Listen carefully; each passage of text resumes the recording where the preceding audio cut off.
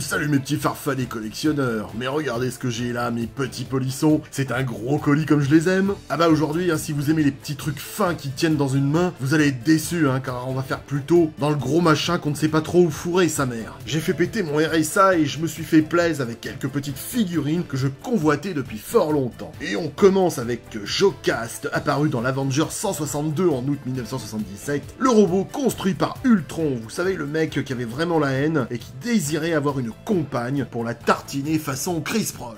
Mais déjà, je vous présente l'Enchantress apparue pour la première fois dans Journey into Mystery numéro 103 en avril 1964. Elle est stylée et bien en chair avec sa chevelure généreuse et ses cuissardes de coquinette qu'elle nous a ramenées du royaume nordique d'Asgard. Miam miam Elle a de quoi nous faire bouillir les gonates, les enfants. Et voici Épervier, l'oiseau des X-Men qui n'a pas fait long feu dans l'équipe, avec un costume assez swag mais vachement bien reproduit. On ne s'est pas foutu de notre gueule quand même, hein. Ah bah, il a pas une dégaine de Joule ou de supporter du PSG, hein c'est quand même mieux. Hein. Et qui dit X-Men dit bien évidemment le hurleur, beau et magnifique avec ses ailes chatoyantes et sa petite gueule qu'il a oublié de fermer. Franchement, c'est pas le genre de truc que tu trouves au supermarket de Fougères. Bon, mais alors là, on va se toucher le tralala avec Tigra, anciennement la chatte dit Greer Nelson, qui au cours d'un combat contre l'Hydra sera mortellement blessé pour être sauvé par le peuple chat qui en fera la créature féline, bonasse, au point d'être responsable d'une centaine de souillages de futales chez tous les sexy stages du 79 et d'ailleurs. Très joli, et je suis très content d'avoir cette figurine. Et en parlant de poils, on enchaîne avec Man Wolf, apparu dans la Amazing Spider-Man 124 en septembre 1973, fils du rédacteur en chef Jonah Jameson, qui après avoir découvert une gemme sur la lune, va se transformer en grosse bébé bête velue. Et moi, franchement, je kiffe grave cette figurine.